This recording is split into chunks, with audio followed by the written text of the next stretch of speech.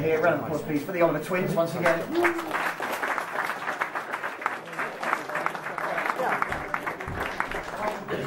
Oh yeah, get your microphone in. Perfect. Seamless. Seamless. no one noticed. Um, but generally, um, I was lucky enough to meet you guys a few weeks ago up at Play Expo Manchester. And uh, like, uh, like a lot of you guys, uh, I grew up with Dizzy. Uh, I, I knew more about Dizzy than I did about Mario for a very long time, Spectrum, Amstrad, all those things. Uh, uh, so they are very dear to my heart. And, well, you put a tweet on the internet a little while ago. Down with the kids there. You are, you I don't do that. So I'm sure everybody in the room is wondering what you're up to. So tell me, Explain. Well, we, we, why we, did you we, do that? We, we, we tell people that we'd, um, we'd tell people sometime in the future, and this is the future right now. We're living in it's future. four o'clock. We are. We've just gone past that day. Uh, four o'clock um, Saturday. So yes, it is. So uh, let's reveal uh, what what it is. Well, you wrote the PowerPoint, so I don't even know the slides. So. So it all begins. To start our talk series of playback from this year, and they hardly need any introduction.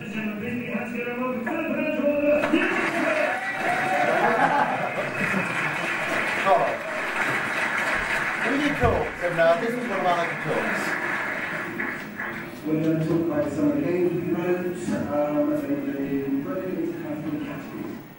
By the time, by the time we got to number three, well, we we're getting quite slick, but we got a system going. Um, so um, the first Dizzy one was on Warhol.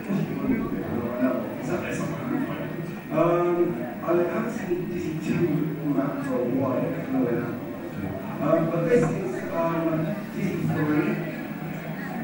So there's a pretty efficient coding going on there. There's a pretty efficient compression and, graphic systems going on. That's this is it. We, we moved the sort of into this one because it's Jason Baker with uh, where you make things to in the description. Oh, this was a big one. This one took a whole year. That, that Fancy World Dizzy took about a month to write. Okay, fine. Here's a map for a game I don't think ever happened. Wonderland Dizzy. I don't it You go even off,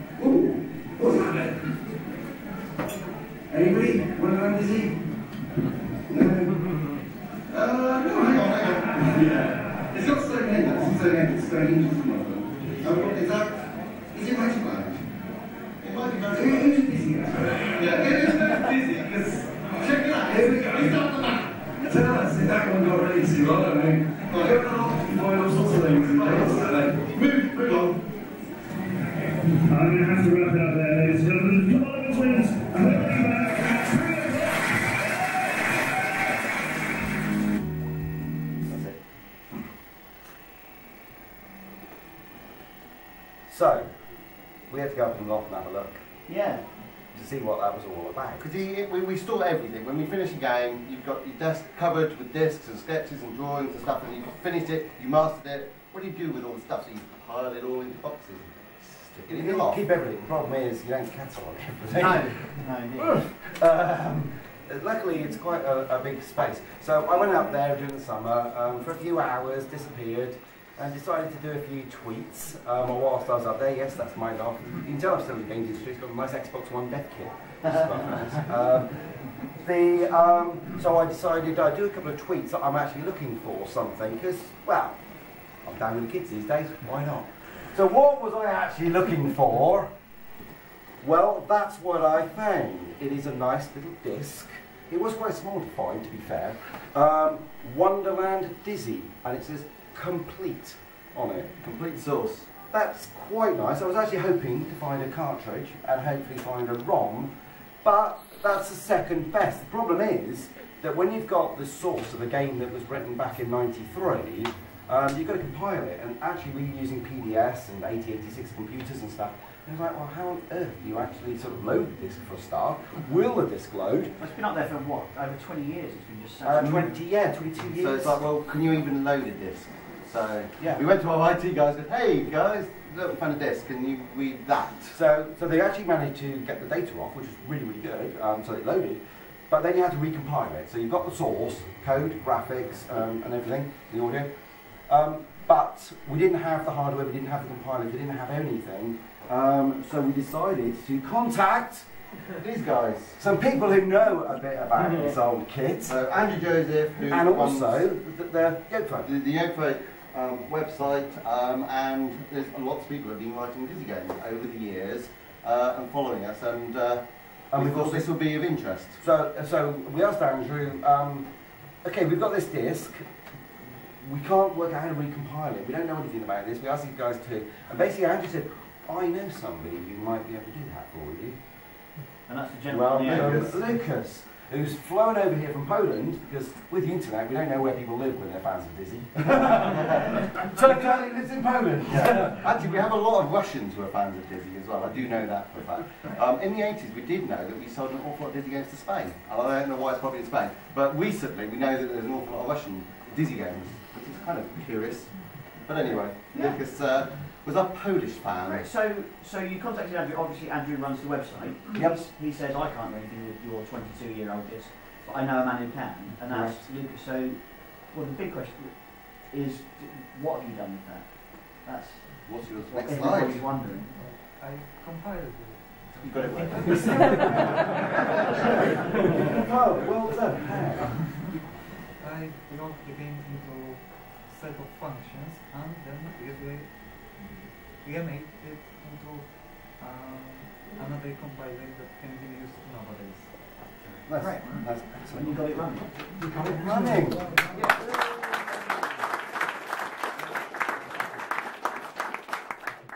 So, we discovered, and we didn't know, that the background was based on Magic Land. There were big chunks of Magic Land background in there, but actually it had been completely recoded. We'd had to take it because obviously Magic Land was in um, 658 in Z80. We had to take this to 6502, so we'd completely recoded it. We completely done all the graphics afresh because this was the Nintendo format. Um, and we'd obviously taken the opportunity to um, change all the puzzles, um, and therefore we renamed it to um, Wonderland Dizzy. So that Um, is the new game, obviously. Wonderland Dizzy. so, um, and, It it, is a and it was running, and it was running on the Nintendo. They managed to get it running on the Nintendo, which was just awesome. And it's really weird, kind of playing your own game and going, well, I don't know what this is going to be about. I wonder where this is going. yeah, so I mean, we did actually sort of play the game after Lucas has got it running, and it was the weirdest thing because it's like, well, there's puzzles in here.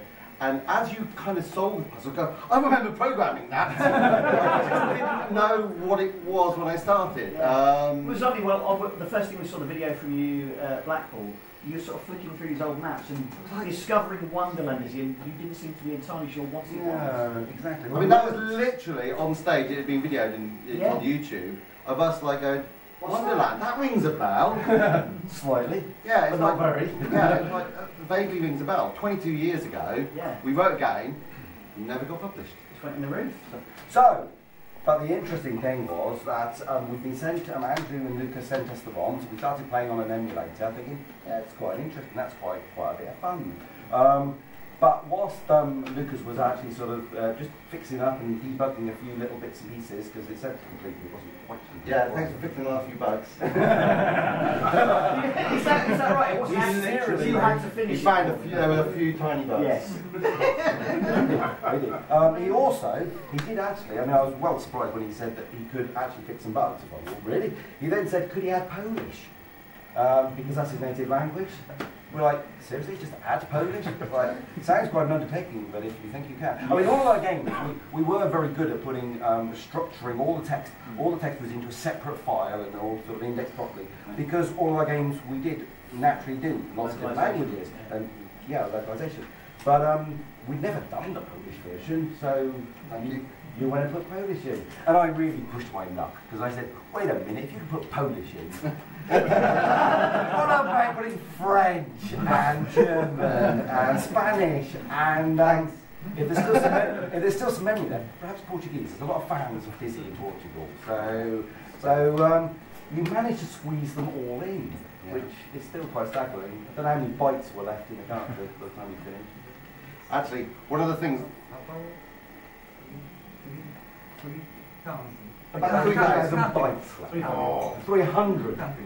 300 Squeeze bytes. that. I have to say, in the early days, One more sentence and we were done. Yeah. In the early days, a game would be finished when the memory was full. Yeah. That is a problem of developing games nowadays. Yeah. They never happen. Yeah.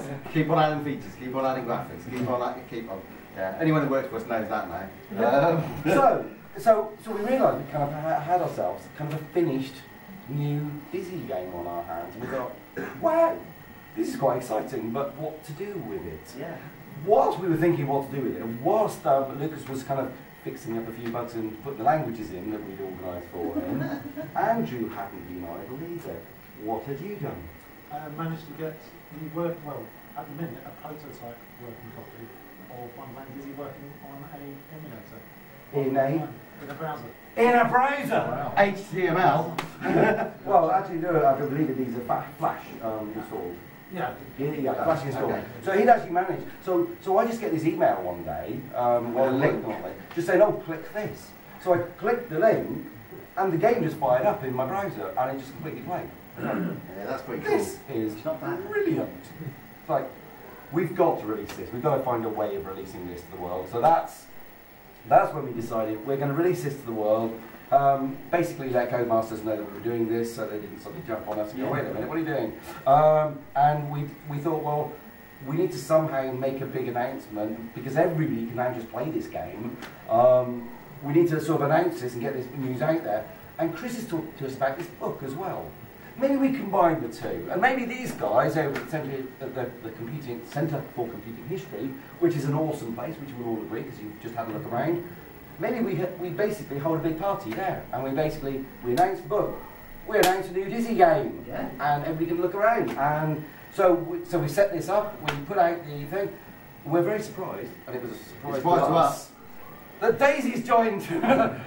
we didn't actually remember this, but on the front screen it says, "Do you want to play as Daisy?" It's like, yeah, okay. Or tag team. Oh, look. You can play as Dizzy and And, Daisy. and there's even a So- tag team version in there as well. We'd completely forgotten all this, but it works. So And it's pretty work together. Yes, well, kind of. You play one, and then when that one loses a life, it tags to the other one, and then that one plays. We And the don't- Cheshire Cat has to take the inventory from one to the other to stop the problem being broken. Right? The Cheshire Cat. I remember programming the Cheshire Cat. The Cheshire Cat fades in and fades out. It's really good. Good. So, all right. So, well, you've told us that's a thing now. When can we Oh. Well, okay. Um, sorry, next slide was this, and I want to, I didn't even get it. Um, That's I want to know. No. Yeah, all right. So, um, well, knowing that we were going to have this sort of um, big party and big release and everything, we asked a couple of guys at the office could they do some up-to-date artwork because we've got scribble drawings and stuff, but because this was never a finished boxed game, um, We finished the game, but the art for the box has always Has never been done. And Codemasters never created the box art.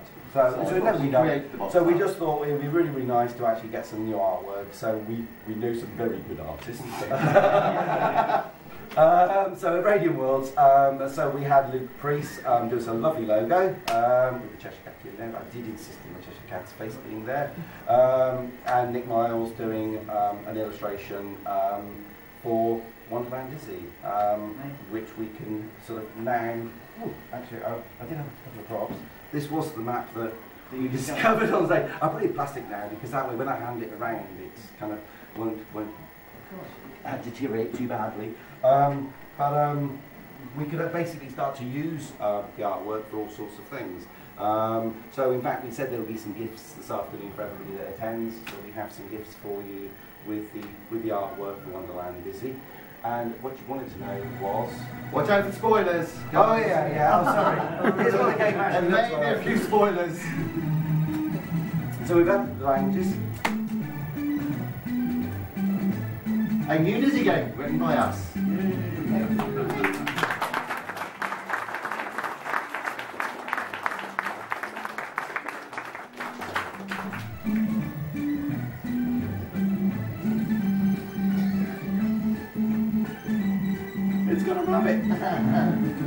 Every game's better way around I've seen this. And he looks pretty cool as well. Great.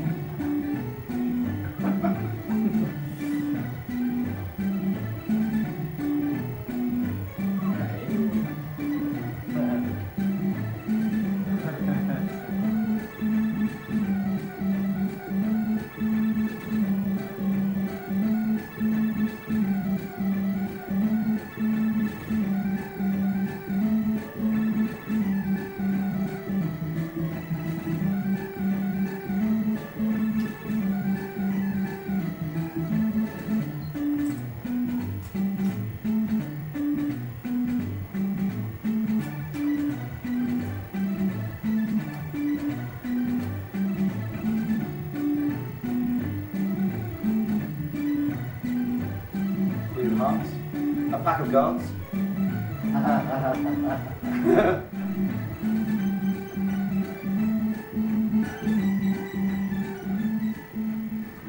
And so there you go. To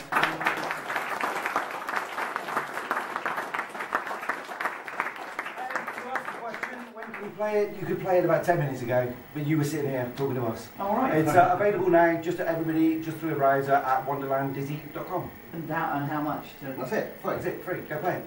Didn't cost.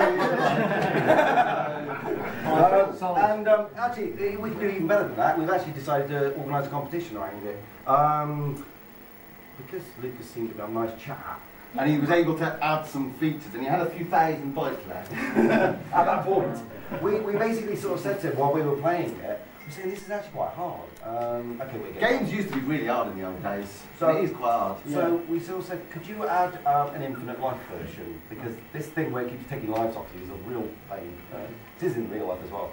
But, um, but um, could you add an infinite life version? So uh, Lucas very kindly added a classic mode, three lives, um, or a fun mode, where basically it always stays at three lives, which is very good. And, and it was much better to play, and much easier to play, because we'd like people to beat our games. I mean, um, I think in the old days, one of the mistakes we made was we actually made games so hard that very few people actually beat them, which is a shame. We'd like people to finish them. My daughter's here. You haven't finished many Harry Potter games because they were all 2D, weren't they? um, so it is better that people have a lot of hours of enjoyment and then finish it, and then they can move on to the next, and there's closure.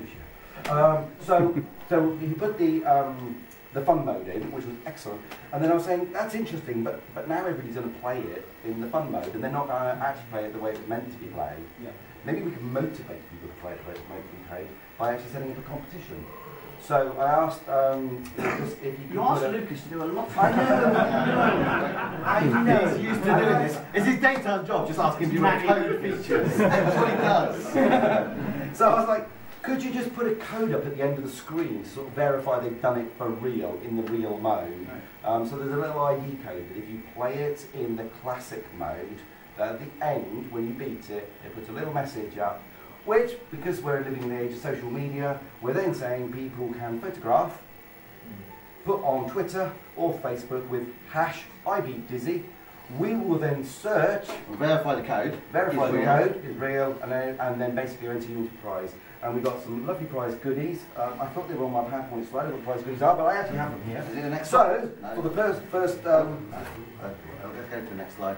That is wonderlanddizzy.com, which is ah, uh, live. which is live right now. You can test it on your smartphone. Uh, so we've got some nice signed clocks Oh, wow. for the first person who beats them. And you have the other Um, clocks? we have um, some mouse pads, which you will all get because you attended today. So everyone gets their mouse to. So don't we leave without.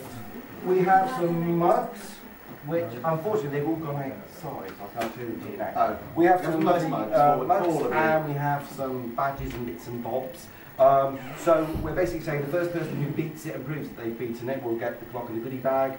The next 10 people will get the goodie bags and one at random will get a clock as well. We will then, um, over the next month, do um, another 10 at random and another clock, um, just from everybody who plays. So It's fun. And um, thank you for all enjoying and loving Dizzy Games because we loved it too. And it's amazing that we found one we never actually got to publish. Well, on behalf of everyone here, thank you. Thank you.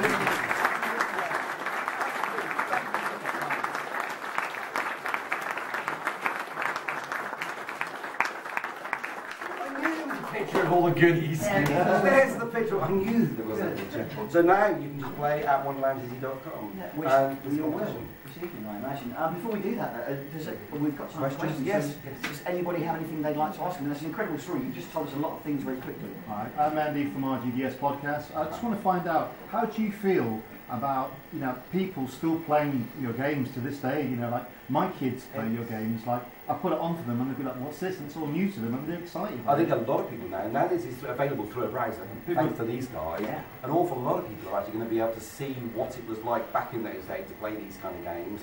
Um, and the reminiscing. I mean, it was fun uh, playing it ourselves. Yeah. Reminiscing. We used to write good games. no, it it was a, a fun experience, and it's a slightly weird one because you're actually trying to solve the puzzles while you're going, and then you kind of solve the puzzle, the, and then as you were doing, you go, "Oh, I do remember that." Actually, so, um, Um, yeah. Uh, It, it's, it's a wonderful that modern technology and these guys have actually kind of given us the opportunity to actually be able to give this to the world. And much better it's out there on the net than it's in my loft. Um, and yeah, I mean, just like when we were saying in the earlier talk, that um, people just kept on playing Dizzy, like, and over time, and we it's always the game that will, will I was going to say haunt us, follow us. In a good way. Everyone We're who very reads us, proud who of it. realise who we are, it's, it's always Dizzy. They always talk about Dizzy. We want a lot of simulator games, but it's always Dizzy that people love, and it's the, the fond We've characters. quite a few games since. Yeah, it's- the fond characters and the stories, and those th- those emit a lot of emotion, I think, um, and people fondly remember the little stories. Even though our little speech bubbles were always very small, people could read so much more into it. I think Yeah. when people read reading books, your imagination goes beyond just the text, and I think people's imagination, because we have such rudimentary 8-bit computers, so remember guys, this is an 8-bit game with 8-bit graphics, and there's no more than four colours in every character. Uh, all those sort of tricks. tell you how you coded it. Oh, well, yeah. Um, I do too. Um, but they emitted enough story that people filled in the rest of it, and they have fond memories. And I hope we don't shatter their memories by playing it. No. And, and seeing it and going, oh, they were a bit uh, flat, weren't they? No, no. I think, I think people will have fond memories, and we hope we can evoke that. But As, as like, you, I mean, you say it was better to be out there than in your loft, but you didn't have to do it like this. You could have made us all give you loads of money. It's, No, it's to it's your not about that. have the most incredible Not about no, all games are free nowadays. Don't you know that? I'm used to you. It's okay. It's okay. We're fine. Don't worry about us. Uh, Does anyone have any other questions they'd like to ask? Yes, you know, sir. You thought about putting it on a real NES cartridge? Oh, yes. Funny, you should mention Where is that. it? You mean like that? wow. like that. I think you'll find it's in one of the Kickstarter. And one of the. Kickstarter tier awards, which Chris couldn't talk about earlier. Yes, book? Of course, the book. So in the book or whatever, if you pledge uh, amounts of money, Right we haven't worked out. He couldn't tell you earlier when he was talking about the book that there will be interesting. There is a tier reward for, for this. Real NES cartridges. That's a and there will- working NES cartridge for the game. That particular one isn't, but we do have. But you're going to make We will make, we will make them. We have got it working. We will make them. There will be a tier reward for working boxed. If you have an NES old. NES, and I have to say, right, you might have an old NES, but you have to have an old TV as well. Try and plug in a PAL and um, a PAL console into an 80 TV because you can't. Um, we have a little bit of a game on that. Uh, The game is running on two measures, yeah. You've got it running, just to prove that it is running. Oh, Oh, so you have been getting it out Right, there the real cartridge there to Well, prove. there's, there's a Mega Drive cartridge which is in these two. Right, there we go. So we've it is got work in over there So on old Right. TV So as if you want to play that unreleased Dizzy NES game, you can play it on a NES there. It's easier on uh, di- um, Wonderlanddizzy.com. That's really cool. But that's the real thing out Yeah, there. the. Has that been running all day? No, Oh. he's just. the story, mate. He's going, what's this new game? No, I don't remember this one. Uh, any other questions?